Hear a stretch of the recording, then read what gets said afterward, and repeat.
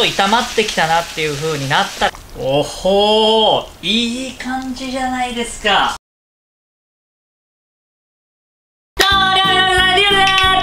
ということでですね最近テンションを高くすればいいっていう感じでやっておりますけども今回はですね、まあ、僕酔っ払ってるんですけども酔っ払ってるといえば皆さん僕何を作るか分かりますね。そう思考シリーズですね。はい。今回はですね、えーと、思考シリーズでございます。で思考のクレームシチュしかもクレームシチュまあ、皆さんって多分ねルーで作るのが多いと思うんです。今回はねあのルー使わずに材料だけで作るっていう。シチューに関してはルーを使った方がもちろん簡単なんですけども多分ね小麦粉を使ってもさほど変わらない手間は。シューに関してはですね。今回至高のシューなんでちょっといろいろ隠し味を使いながらですねやっていきたいと思います。これがね本当にね市販のルーに戻れませんよ皆さん。まああんまり使わないような、え材料とかもちょこちょこ入ってくるんですけど本当に美味しい、えー、シチューこれを皆さんに伝えさせていただきたいと思います。リュウジのバズレシピ。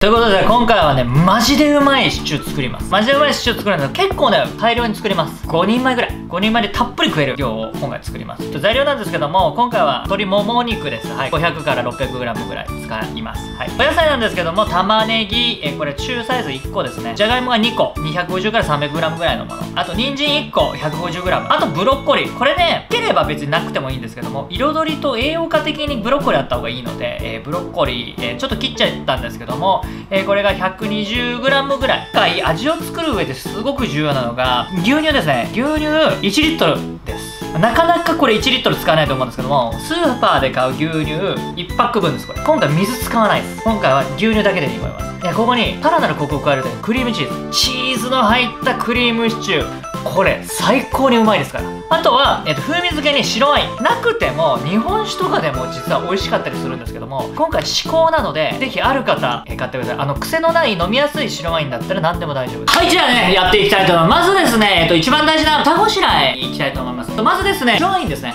はい、え白ワインを最初に使っていきます。これはねあの風味付けにすごく大事なんで適当なボウルを用意してください。この白ワインをえ適量自分がいいと思うぐらいまで注ぎます。今回使うワインがどれぐらいの香りがするのかっていうのを確認していきます。そして飲んでいきます。これはねシチューに合いますよこれ。ということで今日はこの白ワインを楽しみながらやっていきたいと思います。じゃあまずですね人参です。ヘタ切り落としてください好みなんですけど僕は皮むかないです。でこれを細めの乱切りにしていきます。小さめの乱切り。こんな感じ。乱切りっていうのはこれ人参をね回しながら切るんですよこれ。こんな感じですよ。はい。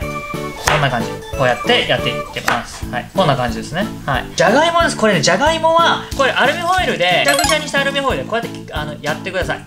そうするとね土と皮がいい感じで落ちます。はい。こんな感じで。で洗いましたね。洗ったら半分にして。でこれこれも半分にします。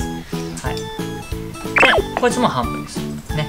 今回ねちっちゃめのじゃがいも選んできたのでこれはね好みです。じゃがいもボコボコっとしてたのが好きな方もいるんですけども僕はと僕大きめのが好きかな。等分ですねこれね。でちょっとあの一口大きいなと思ったらこれ2等分ぐらいにしていただいてもいいんですが僕はこれぐらいのホクホク感が好きなんで、えー、これでやっちゃいます。で、えー、ブロッコリーなんですけどもこれね一房ちょっとでかいじゃないですか。だからちょっとね半分に切っていきましょう。ぐらい一房がでかいんでこれぐらい。まあ煮ていく順にちょっとほろっとなりますから。こんな感じで切っていきます。はい。玉ねぎはね、えー、くし切りにするやり方ももちろんあるんですけども僕はね玉ねぎはソースと絡めたい。で、えー、ここにまあまあスライスしていくんですけども、えー、スライスもねそこまで薄切りにしない。5mm から4 m m ぐらいの厚さで。はい。そこまで薄くしなくて大丈夫です。と食感も少し残りつつもスープと同化するような切り方、えー、これをしていきます。はい。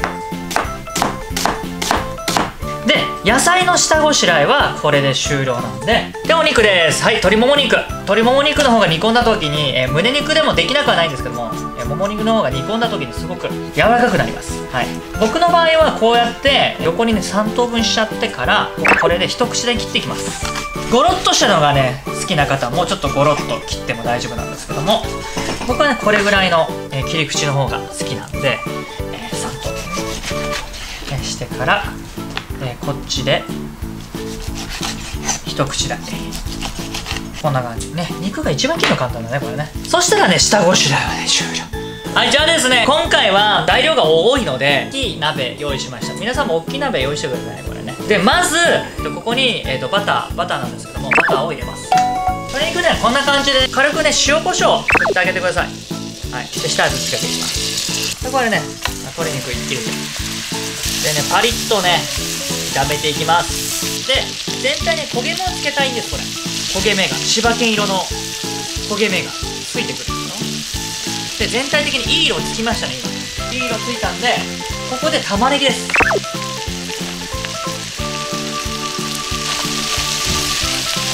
玉ねぎを入れていきます。えーとね玉ねぎねほらしなっとしてくるじゃないですか。ちょっと透き通ってくるじゃないですか。そしたら人参を入れます。はい。そして人参とこれじゃがいもも入れちゃうんですよ。で全体的にこれも混ぜていく。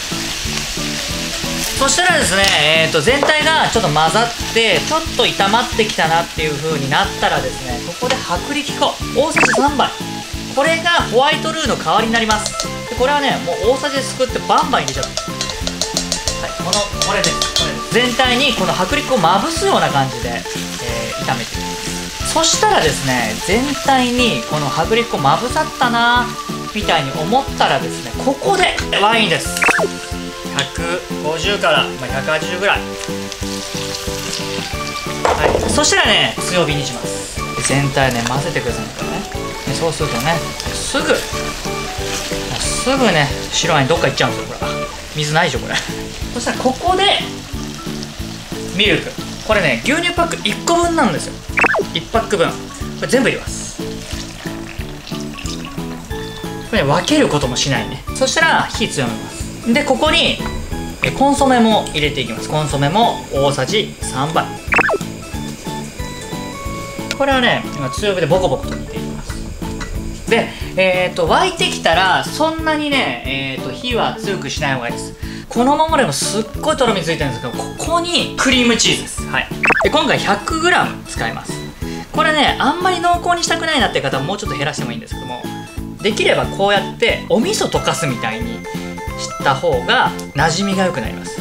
溶かしながら入れていくとスープとの馴染みが良くなります。でこっからねちょっと煮込んでいくんですけども煮込みに入るっていう前にこのバラックリ入れていきます。ブロッコリーを入れてまあ3 4 0分ですね、えー、と弱火で、えー、くつくつと煮込んでいく。はい弱火で30分煮込みます。それではですね弱火で、まあ、40分弱ぐらい煮込みましたがね。じゃあ蓋を開けてみます。オープン。おほーいい感じじゃないですか。ちょっと持ち上げてみますね。これ。わどうですか。これ完全にクレアワさんに勝つでしょこれ。でこれでもうねお野菜はねほろほろお肉もほろほろねえっ、ー、とじゃがいもとかも全部偉くなってるんですがちょっとここで最終的な調味をして。でここで必ず味見してください。味見して自分には合ってる塩気だなと思ったらそこで止めてください。で僕は少し濃いめが好きなのでお塩を2つまみぐらい入れます、はい、そしてあと最後なんですけどもぜひこれ至高のシチューなんでホワイトペッパーです。でこれを123まあちょっと思ってる、ね、3倍入れてください。れを入れたシチュー。ものすごく香りが立って美味しいです。はいじゃあ持っていきます。お野菜がねたっぷり入ってますんで、ね、たっぷり持ってください。でそしてですね、まあ、パセリ。ちょっとね青を加えてあげると非常に綺麗です。これ、ね、あればでいいあればで結構です。あのコーヒーポーション。このクリームの感じが出るとすごく良くなりますね。はいじゃあこちらですね。至高のクリームシチュー完成でございます。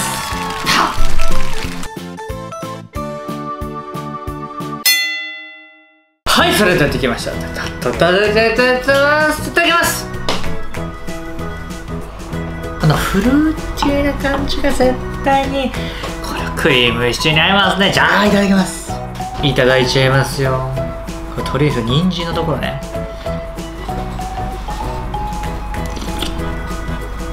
はははは人参の皮全く気にならない。えー、ちょっと待って。たまんない。ここれねマジでうまい。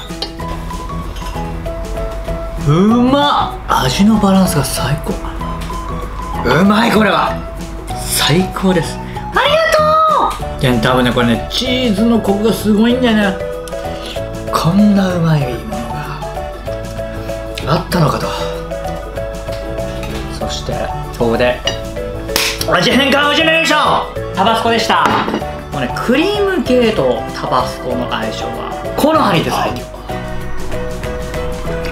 あうん。タバスコ入れることによってねもうちょっと強さがシャンパンとかもいけるような感じになると思います。シャンパンお願いします。あーこれとタバスコがあーいいと思うよこれ。はほんとすいませんね僕だけ楽しんじゃってね。うわあーありがとうございます。本当にありがとうございます。タバスコとシャンパンの相性バズレシピにて最強。なので皆さんぜひ試してみてほしい。あー出来上がったシチューを使って仕上げたクリームシチューを白ワインと一緒にいただくぞっていうこの心意気。これが料理を作るためにすごく重要